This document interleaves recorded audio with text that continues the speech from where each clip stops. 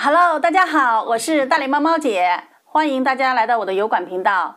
我们今天看一下，为大家带来了什么样新的知识。Daniel 记录清迈 SAO 大会的第二天二牛逼，然后投资了五十多家小型的互联网公司，基本也是围绕着 SAO 方面的产业来进行投资的。Travis 现在的状态是我所向往的，因为在我看来，所有的商业活动其实都离不开投资。掌握核心的营销技术，再配合自己的眼光去投资，能够最大化的降低投资风险，提升投资回报。Travis 在演讲中讲了几个投资的观点，我觉得挺有道理。The greatest losses result not from buying quality at an excessively high price, but from buying low quality at a price that seems good value。意思就是不要贪便宜去买一些低质量的东西，而是购买高质量的东西。即便这个东西比较贵，这个我是深有感触的。读初中的时候喜欢买街边的背包，可能就几十块，但是背不到几个星期，不是生锈就是脱皮。但是后来买了一个 Local Q Sportive 的背包后，我用到了大学毕业都没用坏。其实这无形中省下了不少的开销浪费。其实他这里讲的更多的是 Affiliate 的投资。大家都知道便宜的肯定有它便宜的道理。购买的 Affiliate Site。可能现在 traffic 还不错，但是可能是用了 PBN 或者其他手段做起来的，很可能你买回来之后的几个月能收回一些钱，但是过几个月网站流量下降，你的收益就会直线下降。Knowing what you are the best and ignore everything else，也就是说你要做自己擅长的事情。他举例一个例子，就是一个技术男，可能自己的生活圈子就是零食、游戏这些东西。但是如果他收购了一个 money blog，就是亲子类的博客，他是不可能经营的下去的，因为他的擅长点并不在这里。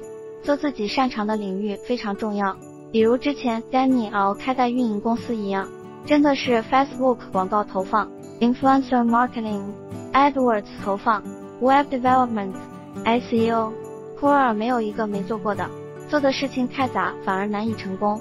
所以后来我砍掉了大量的业务线，只做自己擅长的 SEO training and link building services。现在过得比之前滋润多了，其他的观点就没记得太多了。这里他推荐了三本书，我觉得大家英文能力不错的可以考虑买来看看。第一本《Fooled by Randomness》，作者 Nelson Nicholas Taleb Nelson Nicholas Taleb Nelson Nicholas Taleb，从事风险研究工作二十多年。之后成为专职研究者和学者，专门研究带有偶然性、运气和概率的实际和哲学问题。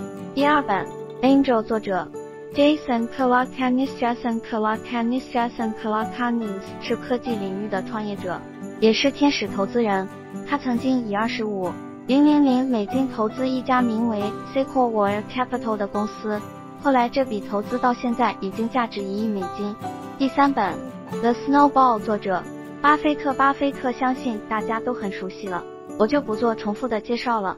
第三位嘉宾，Make 你们演讲主题，YouTube Mastery，How to leverage the fastest growing traffic source on the planet YouTube。现在不论是国内还是国外都很火。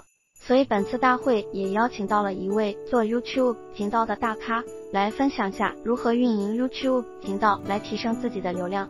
本次分享主要是讲了如何优化你的 YouTube channel，了解 YouTube 的 ranking factor 等等。不过 Daniel 觉得来来去去还是那些内容，我按照自己的经验给大家整理一下 YouTube 的内容。首先要做 YouTube，你也需要去调研它的关键词。啊，Ref 工具是有调研 YouTube 关键词搜索流量的功能。确定好关键词和主题后，我们就可以开始做视频了。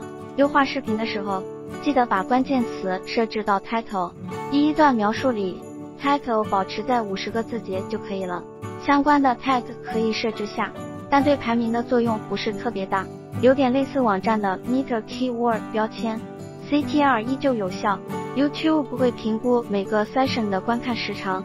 如果你的视频更吸引人，那么你的视频将会得到更多的曝光。其次，可以通过 EDM 等方式去推广你的 YouTube 新视频，让视频拥有更多的原生数据，并且频道要保持一定的更新频率。其实这些 branding 之前都有做过，而且做的都还不错。最最重要的还是视频的内容，如果内容不吸引人，其他的工作都是多余的。Nick 这次讲的内容有点枯燥，很多人都玩手机去了，including 你所以这里就不再细讲了。